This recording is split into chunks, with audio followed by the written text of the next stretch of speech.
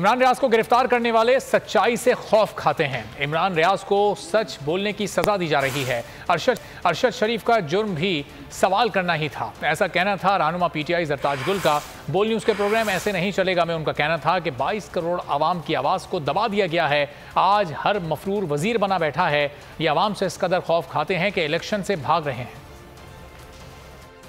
जैसे एक मोतबर ठीक है, वी ठीक है लॉगर जी। को क- काम करने वाले को रिपोर्टर को एक एंकर पर्सन को जानबूझ के सच बोलने की सजा दी जा रही है। आप किसी के बारे में बात न करें। क्या पाकिस्तान का सवाल करने पे अरशद शरीफ का वो कहता रहे कि मेरी जान को खतरा है वो कहता रहे कि मुझे मार दिया जाएगा। क्या इन लोगों ने सुना इस पीडीएम की हुकूमत ने? 22 करोड़ आवाम की नफी हो रही है वो हो रही है वो आपके सामने और यही पाकिस्तान में हो रहा है।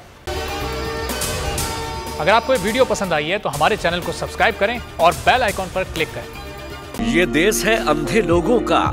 ऐ चाँद यहाँ ना निकला कर ना डरते हैं ना नादिम हैं। हाँ कहने को वो खादिम हैं।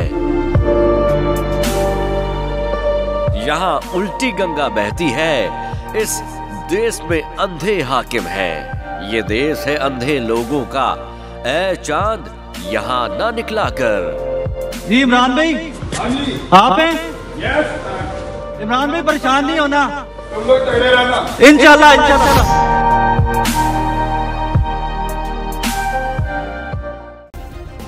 सब्सक्राइब करें और बेल दबाएँ ताकि कोई खबर रह न जाए।